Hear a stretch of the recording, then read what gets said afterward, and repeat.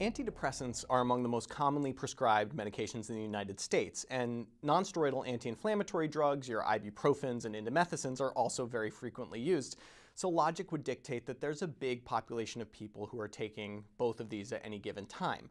And this might be problematic because antidepressants, particularly SSRIs, might increase your risk of bleeding by inhibiting serotonin uptake by platelets, and NSAIDs might also affect your bleeding risk.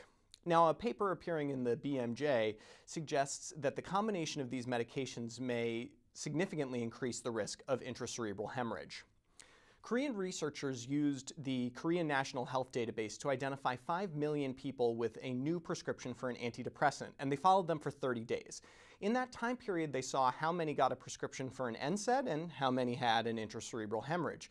Surprisingly, 50% of this group had a prescription for an NSAID within that 30-day time period, which seemed crazy to me until I learned that you can't buy NSAIDs over the counter in Korea, so there's a big demand for prescriptions. Now, it turned out that those who got NSAIDs had a 60% higher risk of intracerebral hemorrhage than those who didn't get NSAIDs. But the absolute risk was low. You would need to prevent about 250 people from taking NSAIDs to prevent one case of intracerebral hemorrhage.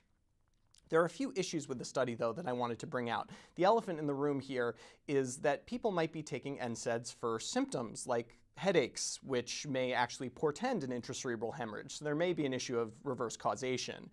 Another issue is one of interpretation. There's this feeling that this study demonstrates a synergistic effect between antidepressants and NSAIDs, but everyone in the study got antidepressants. There was no control group in that sense. As such, we can't say anything about whether antidepressants increase the risk of bleeding. We can only say that NSAIDs did it. Finally, the issue of follow-up. These patients were followed for only 30 days, which doesn't answer the clinical question that's relevant to a lot of us, which is what do I tell my patients that are chronically on antidepressants? Should they avoid NSAIDs or not? If we're only looking at the first 30 days, we don't have enough information to answer that question. In the end, we're left waiting for more data and doing what we usually do, which is trying to alleviate our patient's pain as best we can. And that counts whether the pain is physical or mental. For MedPage Today, I'm Perry Wilson.